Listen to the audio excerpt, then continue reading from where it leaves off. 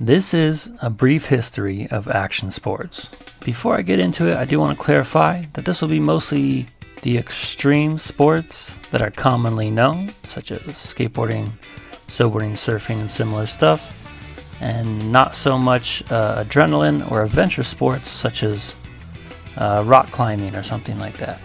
And of course, as a brief history of it, we're going to be skipping over a lot of stuff and mostly focusing on a little bit on the origins and mostly the big boom uh, of the late 90s to mid 2000s. And with that out of the way, in chronological order, we're going to go over one of the original action sports. That said, it is the most complex to go over because surfing is not just an action sport, obviously. If you were boating and in a kayak or canoe or something and rode a wave into the shore to disembark, that is a form of surfing. If you are swimming in the ocean and utilize a wave to get to shore quicker, that is another form of surfing. So, that said, we want to talk about basically the recreational form of surfing. Surfing for surfing's sake, and most importantly, using some kind of device such as a surfboard or bodyboard to do so. The problem with that is that makes it one of the most simple action sports to achieve. And because of that, there's ancient evidence of it popping up from Polynesia to Peru to West Africa. That said, not only is it most attributed to the Polynesian people, but it's also most popularized by the Polynesian culture. So sadly for surfing, I cannot even come close to giving you a definitive start, but it was popularized in Hawaii in the 1900s, and it became a big boom in places like California in the 50s. Another action sport that got an early start, roughly the early 1900s, is motocross. Obviously, the idea of riding a motorcycle uh, off road is nothing new, but it wasn't until the early 1900s to where they got uh, actual races as well as trials competitions to navigate terrain in that manner. And as will become a common theme in this discussion of action sports, as the motorcycles themselves got better, obviously the tracks and the racing got better. Another thing that will come up is the idea of board sports mimicking surfing. The most notable of these obviously being the skateboard. Starting around the late 1940s, people were basically taking the, the actual wheels and trucks of a roller skate, quad skate, and putting it on uh, crates, plywood, stuff like that. And this sport would develop very quickly and become kind of the most popular and most attainable action sport in ways. And later on, we'll discuss further why exactly it is that it got so popular and so attainable by so many people. And moving on into the 60s, we come across snowboarding, which, like skateboarding, is being considered surfing on the snow. The original snowboards being uh, a bit more surfboard shaped, with a, sort of like a leash you would hold, and later on, they would employ the bindings and boots method of snowboards.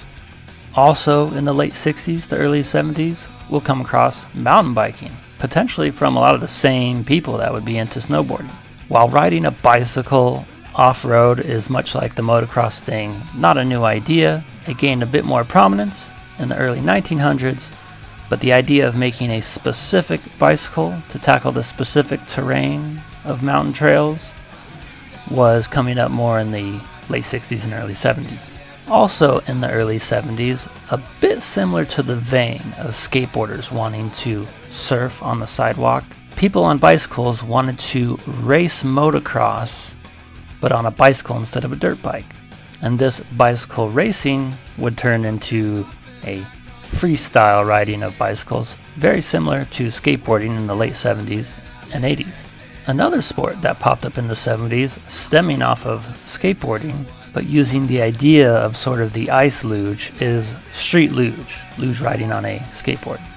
And while being one of the smaller sports of action sports, I like to bring it up because during the initial era of X Games, one of the sports that really caught the eye of what you would say are you know non-sport users, the mainstream audience, was Street Luge because of the racing format and the speed with which they did it, and of course the crashes. And now, as we move into the 90s, we're going to bring up sports that are sort of offshoots, but this is when they really gain prominence. Firstly, we have the, the organized concept of freestyle motocross.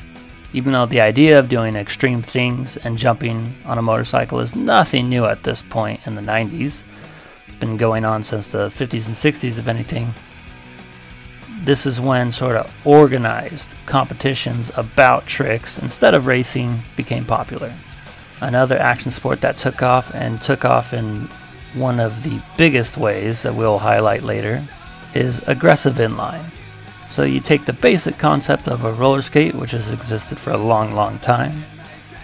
You take the wheels and put them in a single line so they kind of represent an ice skate. And this is what some hockey players were starting to use to have off-season practice without the need of a rink. But in the 90s, people were starting to do tricks and have contests, and this was one of the action sports that not only survived the 90s, having basically started in it, but it kind of rekindled the flame of action sports in general and would basically become the catalyst for the late 90s boom. And last but not least, a great sport in the X Games era was wakeboarding. Obviously, skiing or surfing behind a boat being towed was nothing new, but it was around the time of the 90s where the traditional wakeboard style that we know now, best for doing tricks, was designed. So now that we've gone over the general chronological history of when these sports originated essentially, let's go over some of the cultural breakpoints that make the timeline of action sports' history. In order to try to keep the video brief, we're going to be skipping a lot of developmental stuff of action sports. So sadly, a lot of those early origin things, sort of in the 50s, 60s, 70s, we're going to be skipping over.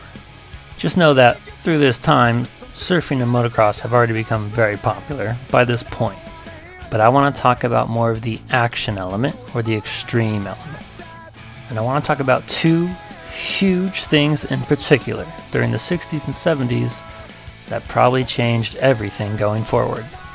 Firstly, we have to mention one of the most famous stuntmen of all time, Evel Knievel. From the mid 60s to late 70s, Evel Knievel had made a career out of jumping his motorcycle over various obstacles, the most common one being cars, buses, other vehicles. But in some of that antiquated showmanship kind of circus lifestyle, every now and again he would jump over snakes and lions and sharks and stuff like that. But I think the underrated part of Knievel's career is the fact that he was doing these quite successfully. While he did have many, many injuries, he was able to continually come back and successfully do these through good ramp design, good bike choice, and just planning out everything a lot more than a circus would. This wasn't just a circus show. This was a stuntman who knew what he was doing and what he was capable of. And at the same time, during the 60s and 70s, filmmaker Bruce Brown made two of the most legendary films in action sports history. In 1964, he released The Endless Summer, showcasing the lifestyle of surfers trotting the globe in search of the perfect wave. With the craziest part of that film being that they actually did find a nearly perfect wave to end the film with. And in 1971, released On Any Sunday, a similar type documentary film produced with Steve McQueen and one of the more interesting things about this movie is not only did it greatly increase the popularity of motocross, but the intro showed kids racing motocross on their bicycles. And while that may have been intended to just be a fun intro to open the movie with, it meant that this movie would almost do more for BMX than it actually did for motocross, which was already developed at this time. And moving into the 80s, we see the result of the growing popularity of BMX in the movie Rad. This is the movie that got my brother into BMX, and it's my brother that got me into BMX. And similar stories like that were popping up all over America as BMX exploded in popularity. But not only was it a great film in its own right, start to finish, but within the film we see one of the biggest things going on in BMX at the time. In the movie, the main character is practicing a backflip. In reality, it was BMX rider Jose Yanez that did that backflip for the movie. Keep in mind this trick probably wasn't invented in like five years before this film.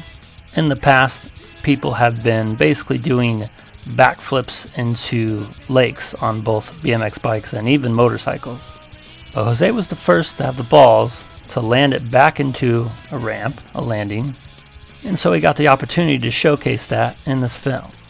Also, while we're talking about action sports history, a lot of people don't realize that Jose Yanez also backflipped a motorcycle successfully in 1991 on a BMX sized ramp on like a 80cc motorcycle. Throughout this entire time, skateboarding was going through various growing pains, basically having quick bursts of popularity each decade. But the 80s would see some of the greatest moments for skateboarding in movies, including the skateboarding scenes in the amazingly popular Back to the Future and the heavy skate emphasis of the lesser known Gleaming the Cube, which featured all the members of Stacy Peralta's Bones Brigade. And staying with popular films that were to feature action sports, 1991 saw the release of Point Break with Patrick Swayze and Keanu Reeves. Right around the time that the world's greatest competition surfer, Kelly Slater, would start his career. Kelly would go on to date Pamela Anderson in the 90s while filming for Baywatch, and ultimately end up winning 11 world championships. Wide open, bonus section, Slater still traveling. Driving through an impossible section, Kelly makes it. And to add to the context of surfing's most extreme names, you simply have to talk about Laird Hamilton, pioneering toe-in surfing to big waves in the 90s slightly inspired by the windsurfing him and friends were doing at the time, chasing larger and larger waves at places like Pe'ahi, and even acting as a stunt double for Kevin Costner during the 1990 film Waterworld. But in terms of his surf reputation, nothing will beat his famous Teahupo'o ride in the year 2000, towing in with a jet ski on his back hand on a tiny tow board with foot straps he employs a heavy back foot stance to successfully ride one of the biggest and most square waves in surf history, resulting in by far the most famous photograph in surf history. Getting back into mainstream cultural media, I have to mention one of my all time favorite things from my childhood Rocket Power, a Nickelodeon cartoon from the creators of Rugrats. This would feature their common cast of four kids doing every action sport imaginable, and it's actually one of the higher points of the TV show. They don't just stop at surfing, skateboarding, and BMX. They have roller hockey and skimboarding and mountain boarding, which was very popular at that time. And it coalesced in not only a great and pretty watchable cartoon, but somehow one of the best representations of all action sports in any media format. This show would run from 1999 to 2004, to total four seasons and 71 episodes. We're going to stick with media a little bit more to talk about the 1993 film Airborne. This was another piece of media that almost had a diverse action sports representation. The main character is supposed to be a surfer and rollerblader from California. In the movie, he has to move to Ohio where he takes up ice hockey from his rollerblading experience. And in classic movie fashion, it ends up in a rollerblade race for some reason. This film would feature a very young Seth Green and Jack Black.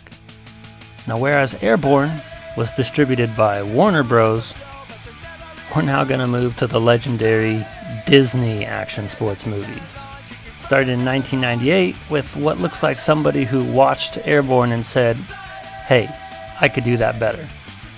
Brink is a movie specifically about aggressive inline from start to finish, and doing so in 1998 when rollerblading is exploding in popularity.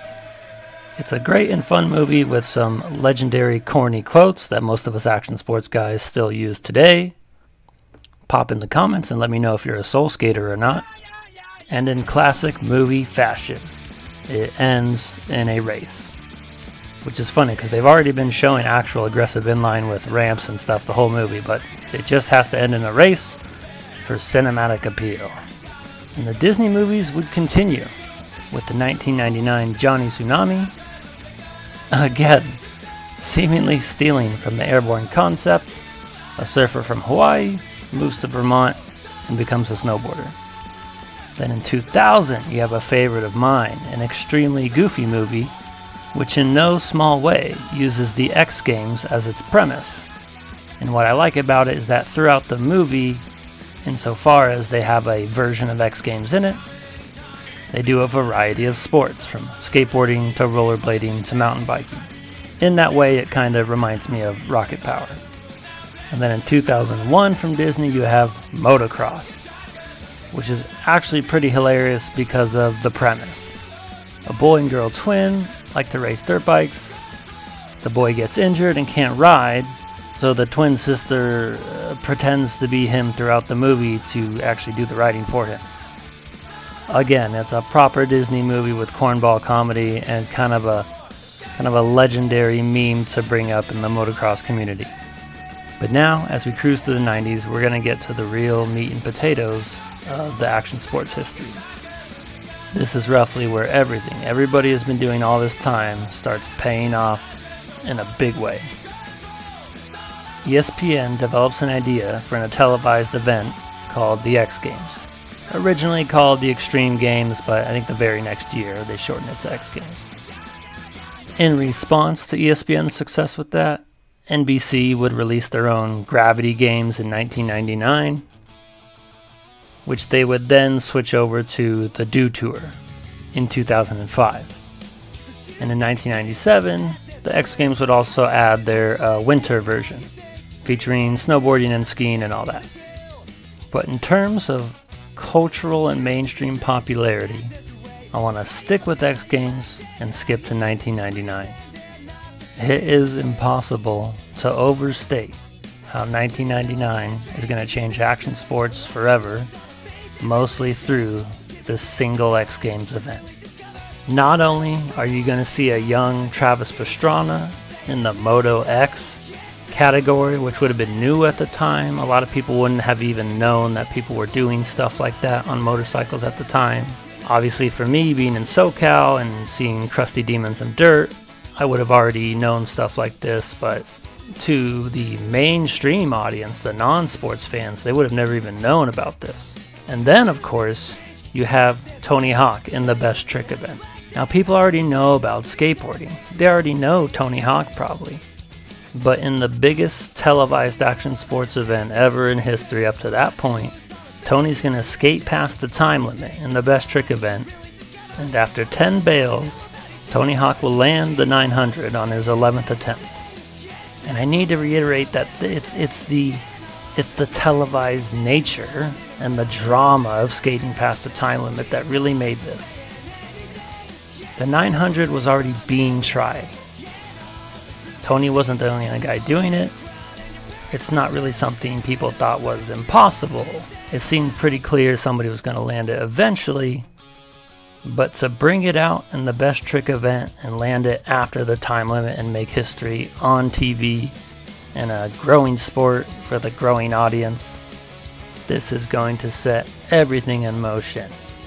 And what's really about to change the trajectory of action sports, even more so than that 900, is that Tony Hawk's video game, Tony Hawk's Pro Skater, is going to release later that year.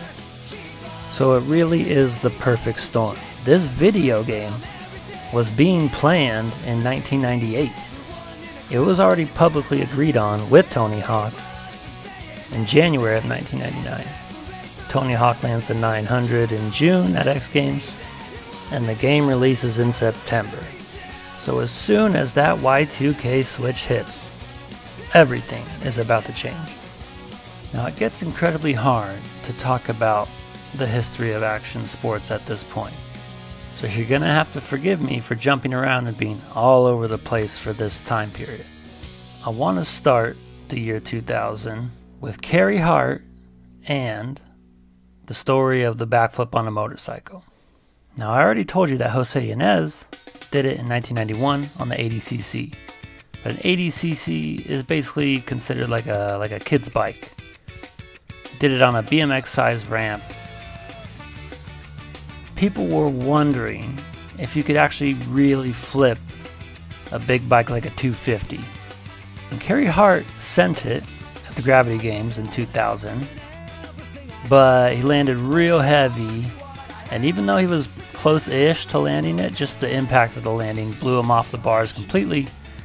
But he didn't actually get injured. He just got up, and uh, you know, you would have thought that he landed it with how much they celebrated because not only is it an incredible send, but coming down like that, it's almost incredible that he was uninjured. I mean, that's a win win in everybody's book. That said, that attempt was not the first motorcycle backflip that was landed. During 2001, I think people were still working on it. Caleb Wyatt was doing it and basically getting the rotation around, but he would land in a in just a pile of like mulch and soft stuff. So you kind of wouldn't right away. You just land in it. It's a foam pit basically. Now in the X Games in 2001, Carey Hart was going to try it again, and they were making a big deal out of it during the best trick competition. It was definitely made out to be like this was his time to do it. This was the venue to land it, a bit like how Tony Hawk had his time and venue to do the 900. Unfortunately, he just popped off the lip weird, didn't like the rotation, and bailed real early. So at that point, he's looking at the ground from about like 40 feet up, and he goes straight down onto his tailbone. And the real unfortunate thing about it is that as he's going through this, other people are practicing it as well. They're probably landing it out of competition, a lot of these guys.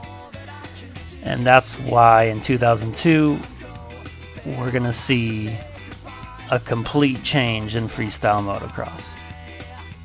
Basically, everybody's going to start doing them. Travis Pastrana is going to do them. Mike Metzger is going to do two of them, like back to back on uh, two sets of jumps. Mike Metzger is also going to win Best Trick by doing a no footed variation of the backflip. But the good news is Carey Hart will land the backflip as well in the Best Trick competition and get the silver medal. Hart would go on to have really bad luck with injuries going forward and basically call it quits, marry Pink, and dip out. In 2001, Stacy Peralta will release a documentary about the birth of skateboarding, especially the modern skateboarding that we know now through Dogtown and Z Boys. This is a team of surfers in the Santa Monica and Venice area that would take on skateboarding a lot like other surfers at the time, but through the use of skateboarding in empty pools, they would basically invent the modern concept of transition skating. And at a time where Tony Hawk is blowing up and skateboarding is blowing up in general, this is going to take all that popularity and inject it with a lot of culture and something to look back and be proud of. Also in 2001, we're going to see the first Red Bull Rampage. And this is also a trend that'll start in the 2000s where energy drink companies are some of the main and biggest sponsors of action sports. Red Bull Rampage is a free ride mountain bike competition that takes place in Utah, and it's still run to this day whereas the humble beginnings of the competition were more about uh, riding the natural terrain and finding uh, sort of natural drops in the terrain, exactly as you might do in snowboarding and skiing, going off cliffs. The modern version is on a whole other level where the the heights and speeds they are riding on mean they cannot ride on natural terrain for the most part, and they need to groom all the landings like they would for a normal dirt jump competition. In 2002, the GoPro would be invented, which would take action camera recording to the next level. And not only is it a great camera to record various action sports, including stuff in the water, but it also became a huge sponsor for many riders in the years to come. Fuel TV was started in 2001 and bought by Fox Sports Network in 2003. This would become the way to watch action sports on television. However, in 2013, it was bought out and basically shuttered with less of a focus on action sports.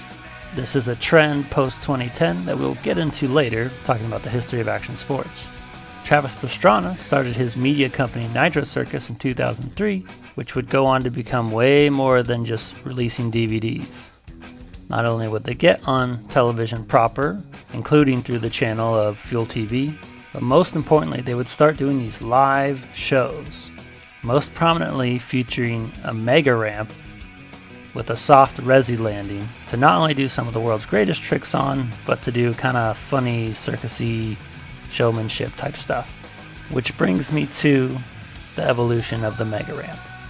However, we can't quite talk about the mega ramp yet without mentioning Mat Hoffman the godfather of freestyle BMX, who did the first 900 on a BMX bike, Mat Hoffman would build these huge quarter pipes in 1991 and again in 2001 to set world records on the highest air ever on a BMX bike. And it was these ramp concepts that became compelling to skateboarders like Danny Way to eventually invent the modern mega ramp design as we know it. The Mega Ramp does have a roughly standardized design, and most skateboarders use a uniquely designed skateboard to handle those speeds that you wouldn't use on any uh, normal vert or street skating. And this ramp would kind of come to define the direction of action sports in the 2000s. Danny Way using it in amazing DC videos to do stuff like jump over the Great Wall of China. And with the additional airtime, skaters like Tom Schaar landed the first 1080 on a skateboard in 2012. And in 2019, Mitchie Brusco landed the first 1260 on a skateboard. Now, I want to talk about another huge X Games moment, but before I do, I feel it necessary to mention the BMX legend Dave Mirra who basically owned BMX Vert and BMX Park for nearly 10 years, from about 95 to 2005.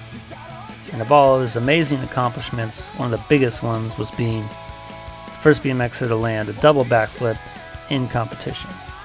And sadly, in 2016, despite all of his success and enjoying his new hobby of triathlons, he would take his own life from what many believe to be depression caused by CTE from repeated concussions.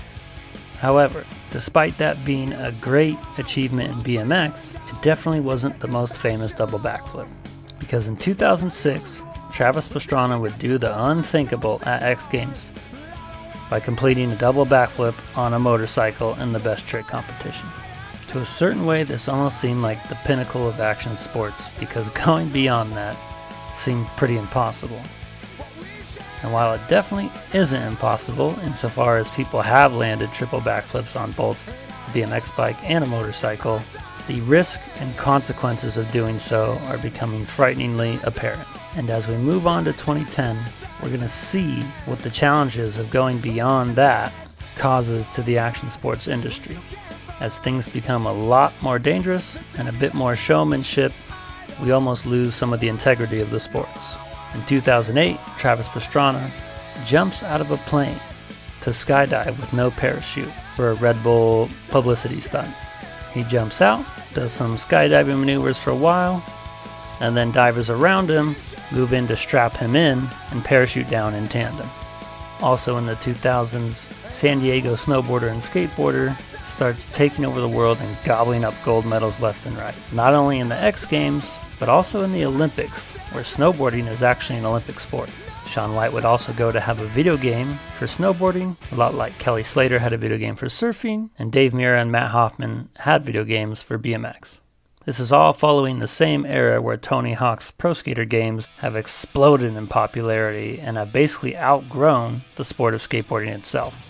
As we approach 2010, we would begin to see one of the most legendary freestyle motocross riders since Travis Pastrana.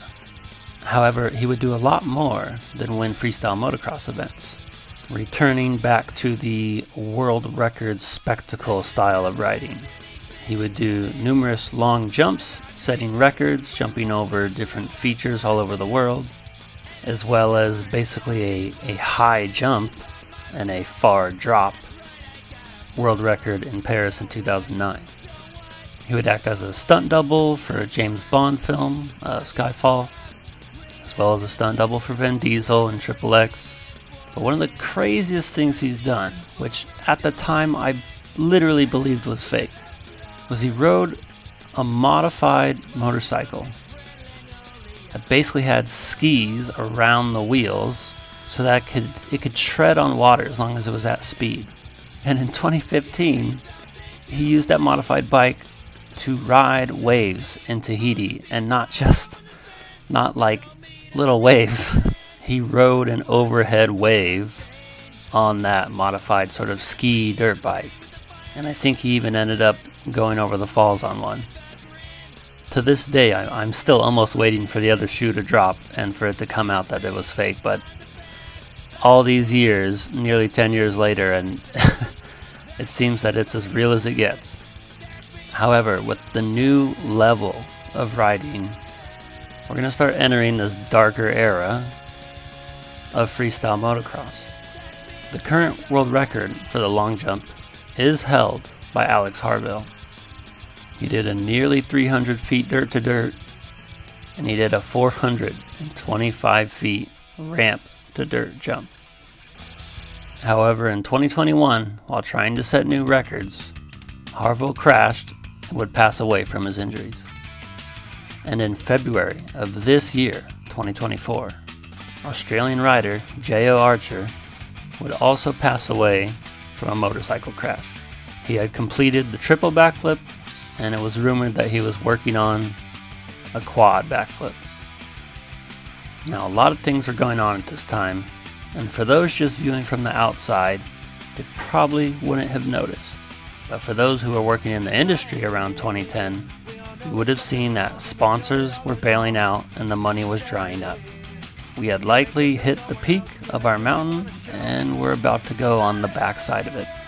There's this long timeline of companies being bought out more and more by larger and larger companies, and inevitably it's going to get to a point where the programs are the lowest on the totem pole of huge companies who might not even know that they own these media platforms. This included the company I worked at, but more importantly, it included Trans World Media, responsible for Surfer Magazine, Ride BMX, and Trans World Skateboarding. NBC and MTV would operate a joint venture that owned Dew Tour called Alli Sports, and in 2015, as the numbers went down, the Dew Tour was sold to the Enthusiast Network, formerly Source Interlink Media. And now we're starting to get lost in the weeds, where companies that owned a ton of media for action sports were being bought out. In 2018, the Enthusiast Network was sold to American Media. And this is where everything comes to an abrupt end. I won't go into the specific reasons, but basically, these are dead acquisitions that American media has no plans to do anything with, and due to legal reasons, might not even be capable of doing anything with, even if they wanted to. Leaving people, such as the editors of Ride BMX, basically out on the street with no option to purchase the IP back. The Ride editors would go on to find our BMX and build it completely from scratch. That said, although the numbers aren't doing good and bad things are happening in the industry, Action Sports is still chugging along and will eventually make a landmark change for the 2020 Summer Olympics. Surfing, skateboarding, and BMX will now be included in their freestyle formats. And while COVID would delay the Olympics to 2021, COVID will also ironically help with the popularity of action sports at the time as being stuck indoors and potentially away from people meant people wanted an outdoor independent activity more than ever. And while some of that popularity has faltered post COVID, action sports is still chugging along in the post print and arguably post cable TV era of online digital streaming. And in honor of the 2024 Olympics to come, I want to read off the results of the 2020 Action Sports Olympics, which has been a dream of these sports for so long. The men's surfing gold medal to Italo Ferreira from Brazil, the women's gold medal to Carissa Moore, Hawaiian representing the United States. For skateboarding street, Japan's Yuto Horigome and Momiji Nishiya will both finish gold in Tokyo, Japan's Olympics. In the park category, Sakura Yosozumi would also take gold for Japan. But for men's park, it was Australia's Keegan Palmer taking the gold. For BMX freestyle, Australia's Logan Martin takes the gold. And for the women's category, Great Britain's Charlotte Worthington will take the gold.